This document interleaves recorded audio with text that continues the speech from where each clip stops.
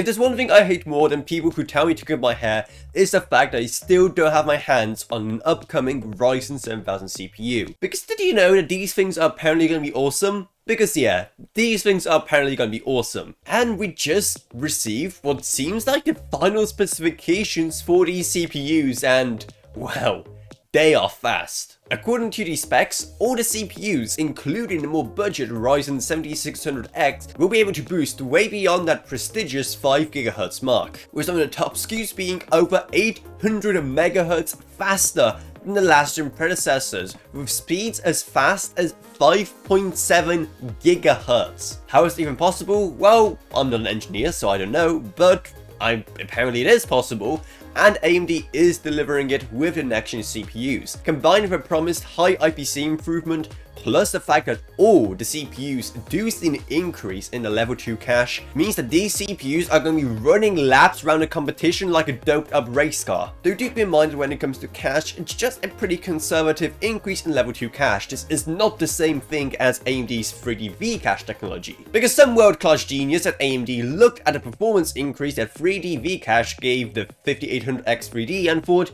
you know what, how about we not use this in the next gen CPUs? Now while there are allegedly Zen 4 3D Vcache CPUs coming further down the line, AMD, why are you gonna complicate stuff like that? Because the average consumer, and not the intellectuals that you and I both are, will have no idea what any of this means or why 3D Vcache is supposedly so important, so they are pretty much making these more complicated for no reason. Maybe one day companies will finally learn not to overcomplicate the product stacks, but that's pretty much just wishful thinking at this point. It's like asking for someone competent to be in charge of the UK. But apart from that disappointment, there's one more concerning thing about this leak because look at those TDPs. The TDPs shot through the roof, going as far as 170 watts. Oh, is it getting hot in here or is it just my CPU that's caught on fire? That is getting like dangerously close the last time that AMD flew too close to the sun with the AMD FX 9590. Now thankfully most modern coolers will be able to handle such a hot CPU,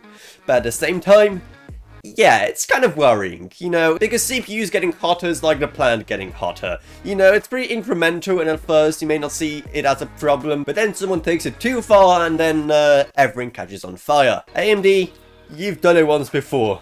Just don't go down that path again. But let me know what you think of all of this down in the comments below and if you're getting any of these Ryzen 7000 CPUs when they drop. And hey, while you're here, if you love my channel as much as I do, just kidding, that's impossible, then maybe check out our Patreon, which is going to be down in the video description below. Because even if you give just one single dollar a month, it truly goes a long way, while you get awesome perks as well. I'd also love to thank my existing patrons, Gavin Burns, Ryan LKB, Meg Sumner, Shane Allcroft, Lansby, and Jesse Hubman. Thank you guys so, so much, support truly goes long way. Down you can find our merch store, our Discord server, and our social media links as well. But anyway, that's about it, so I hope you enjoyed this video. If you did, then remember to subscribe, like whatever, and I'll see you all in whatever I make next. Goodbye everyone. Goodbye.